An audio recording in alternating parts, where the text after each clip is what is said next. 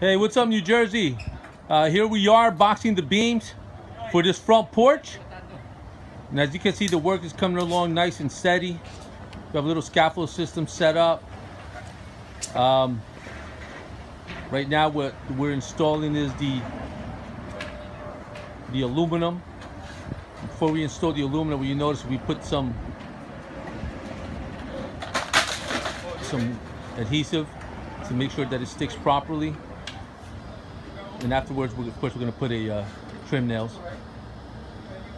So this is one of our projects regarding the uh, front porch.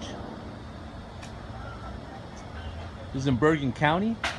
If you want a free estimate for a front porch estimate, a remodeling or addition, call the professionals. Make sure that it's done properly. So give us a call today for your free estimate and consultation. We're licensed, insured, and work in the local area.